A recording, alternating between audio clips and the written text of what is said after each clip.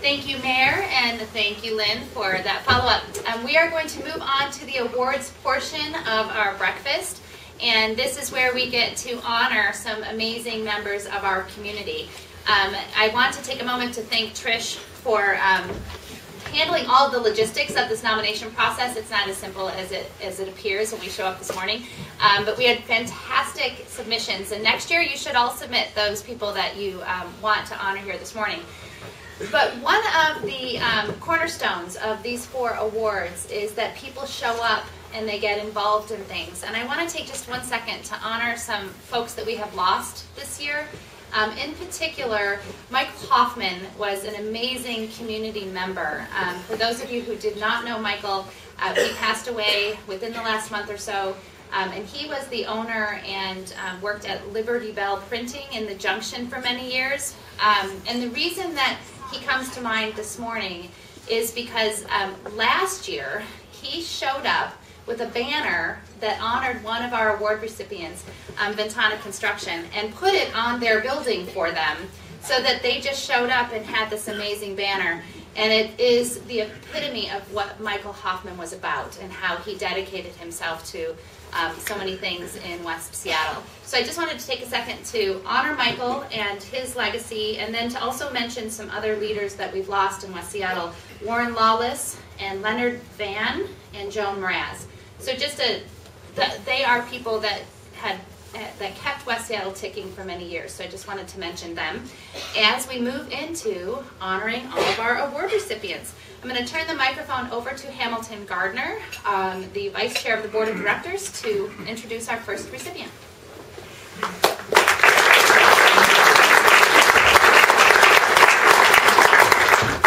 It's my pleasure to introduce the West Side Business of the Year. General Biodiesel's mission to help community businesses with free pickup of used greases and provide alternative fuel sources.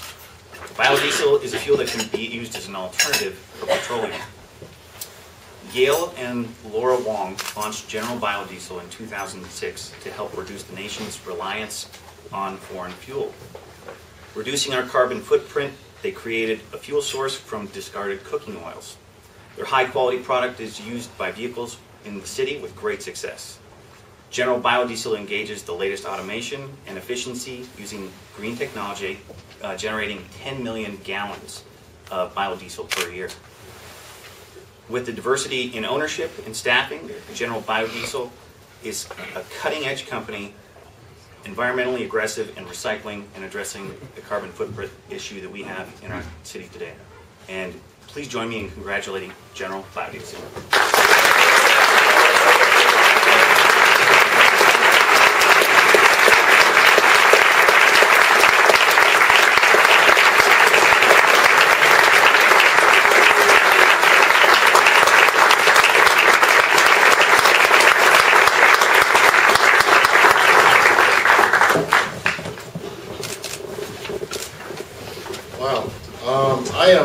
truly, truly honored. This is really fabulous. Uh, thank you, West Seattle Chamber. Uh, thank you, Mayor. Thank you, Councilman Joe. I, I went to junior high school with Joe. Joe. um, but I, am really honored because there, there's a lot of great business here in West Seattle. I, I, live here in West Seattle. My daughter goes to school at Lady Guadalupe. This is probably the best place to live and by far has the best skyline view of all most of all cities. But um, I, I, I, when I found out that we won, I, I looked at my wife and I saw, I said, I think this feels better than winning the Super Bowl. um, I wanted to tell you how we got started. I just, woo, we won. My, my employees over there. But um, I want to let you know how I got started. Um, I, I sold a, I sold a dot com in 2004, and I literally didn't know what to do. I was actually depressed. I said, what am I going to do? All I know, you know, my whole life is to, to, to work the internet. And my wife was getting really tired of me being around the house. She goes, you got to get back to work. and the first thing I did was I called up my good friend Clarence that went to, uh, that grew up with me, and he's, we literally in the kitchen table drew the plans on a napkin and and and can, you know, started this company. And today, I'm really proud from 2006 that we collect from more than two, 3,000 restaurants in the state of Washington, going to Or- Oregon, Idaho, all the way to Vancouver, BC. And we've reduced probably more than 100 million, million pounds of carbon taken out of Washington state from restaurants.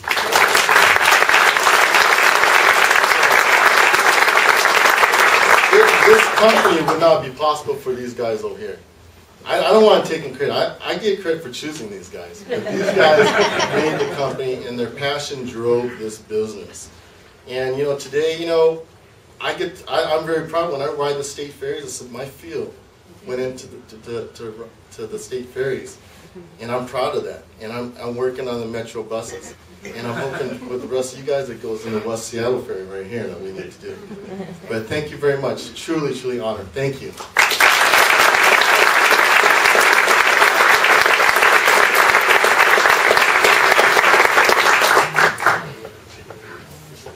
Thank you. It's my honor to get to introduce um, and uh, present the award for the West Side Emerging Business of the Year.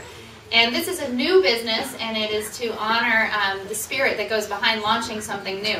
And I was talking to Mark this morning, and um, he actually had this idea and launched it in 90 days. If that's not an emerging business, then nothing is. So that is pretty fantastic. So Mark is with Second Gear Sports, and they are located in the Morgan Junction. And this was an idea that came from straight from his heart. He um, is an avid um, environmental enthusiast. He likes to be outside, and a family man. And within his family, they really honor the idea of being out and being active. And he decided that there was a gap in West Seattle for being able to um, recycle all of your kids' sporting goods and for us to be able to go buy new soccer balls and things at a, at a cost that um, isn't outrageous. So he is an innovative businessman. He was smart enough to set himself up with a mentor very early in the process who's here to help honor him this morning. And within Second Gear Sports, you are, are going to find amazing, um, amazingly friendly and helpful customer service. The award nomination submissions for Mark and his business at Second Gear Sports were some of the nicest quotes I've ever heard um, said about a new business owner. So I want to honor you for that and to welcome you to the West Seattle community and to offer our encouragement. I want all of you to go there um, in the next 90 days. Why don't you say that? That would work. Um, Mark Bremen, may I introduce you and come on up. We'd like to honor you.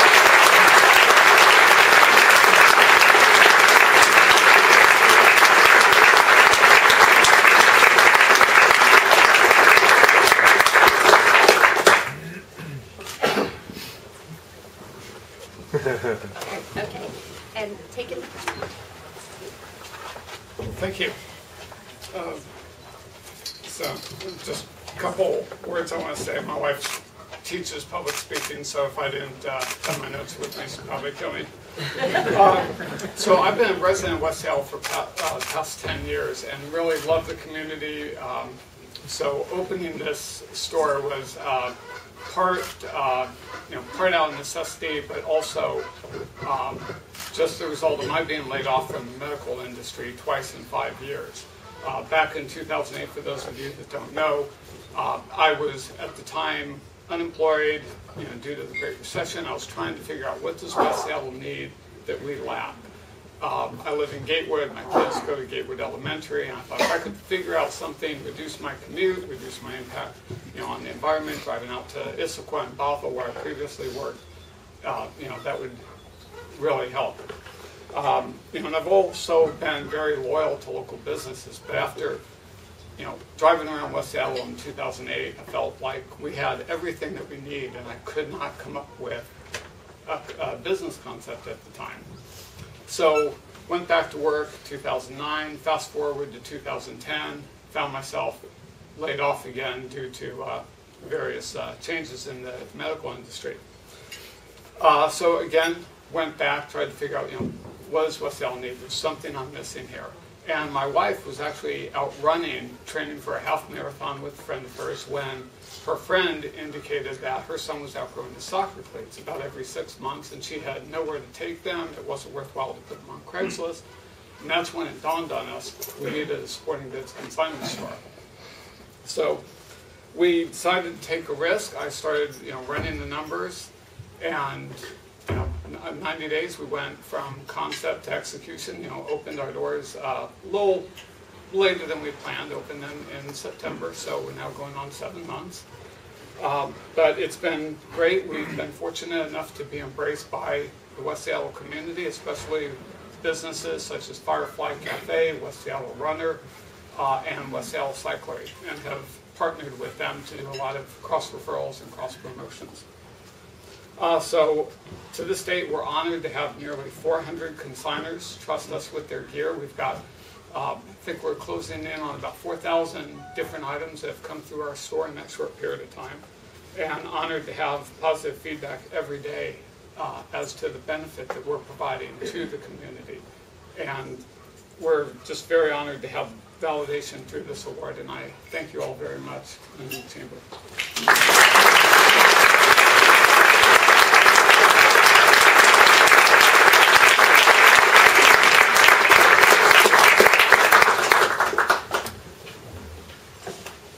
It's my pleasure to introduce the Westside Not-for-Profit of the Year. And I believe this group needs no introduction. Since 1981, the West Seattle Food Bank has been committed to providing food security and community connections to our West Seattle neighbors in need. Last year, they served 37,000 families through the food bank and 3,400 children through their baby pantry. They have spectacular community outreach and a passionate staff. Join me in congratulating the West Seattle Food Bank.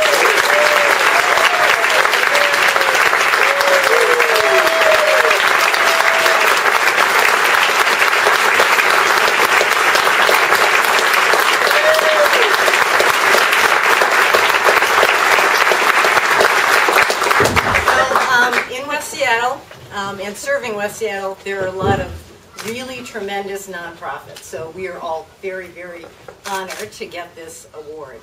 Um, and I want to say that, you know, often in my work, people come up to me and thank me for, you know, what we do as a nonprofit.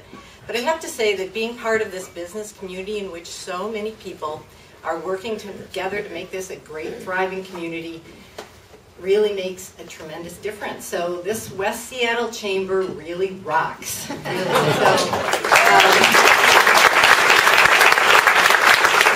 We've been a member for a long, long time, but I haven't had the opportunity to participate as actively as I have in the last couple of years. And, um, and so I, I have to say it's been a joy working with the many folks in this chamber. Um, so, on behalf of our great board of directors, our tremendous, hardworking, dedicated staff, the volunteers, and the thousands of individuals that we will serve, including those 3,500 children that would be going hungry if it weren't for this community, thank you all very, very much.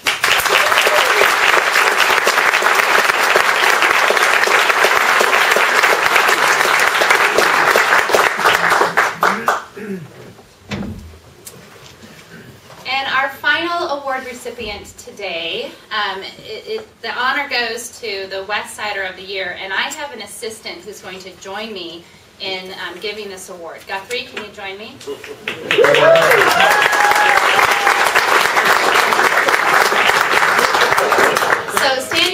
Me is Guthrie Sutton, and he's going to help me talk about his dad just a little bit this morning.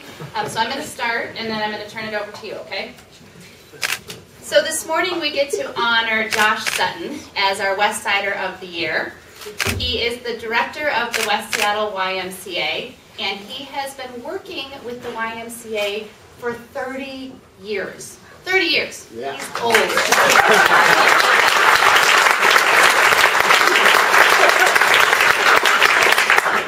So in honoring Josh, one of the things that you have to recognize is Josh is a funny guy. He's also kind of a loud guy. So we get quotes from people that just talked about when Josh walks into the room, you know he's there because you can hear him and his huge laughter and amazing presence. So I think that's because he's one of 12. Is that right? Because there's a lot of you Suttons here today, so thank you all. Um, but behind all of that humor is um, an incredibly smart and kind and committed individual who has done things for West Seattle that you will never know about because he does a lot of those things behind the scenes. He puts time in for things like um, neighborhood development and triangle planning. Um, he puts his neck out there and has opinions on things that um, sometimes push buttons, but he does it in a way that is compassionate and is factual, factually based. Um, but he's there and he is a part of what we're doing. Um, and he is born and raised in West Seattle, which not many people in this room, I bet, can say that. So that alone should make you a West Sider of the Year. But I think probably um, Guthrie is going to be able to give us a little bit more insight on why Josh Sutton should be honored as our West Sider of the Year. And I told him just to, you know, take a couple sentences and not to embarrass his dad too much. Um, You can hold it a little closer. When I hear my dad, whenever I'm going to my bed, our house is about three stories high. As he said, you can hear his laughter from a while away. He's down watching TV with the TV on, and I can hear him up from my bedroom, and I'm in a bunk bed. and I'm like, How does he do it? That's the question that always comes into my mind whenever he laughs at the show. and he's just there whenever I need him, really. He's always there to help. That's perfect. Thank you.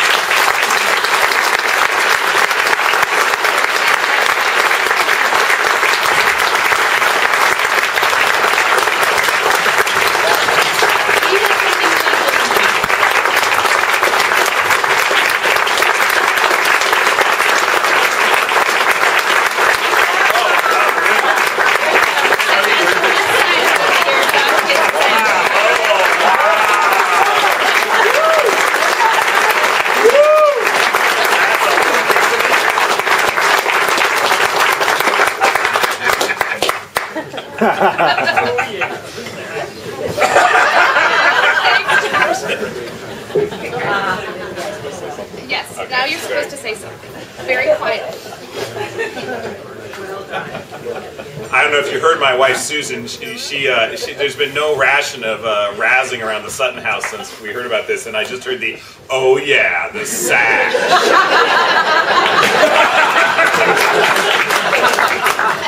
she keeps me grounded. Um, I want to thank uh, Dave Montoure for nominating me. It was very nice of you to do that. And for the Chamber of Commerce, there's so many people who are deserving in West Seattle who do, do great community work every day. Um, there's a few folks here I'd like to recognize. I, about half of my siblings are here today, um, so we filled one table. So, Chamber, the message is you should always invite somebody who has a lot of brothers and sisters. Um, my, my dad is here too. My 90 and a half year old dad is here.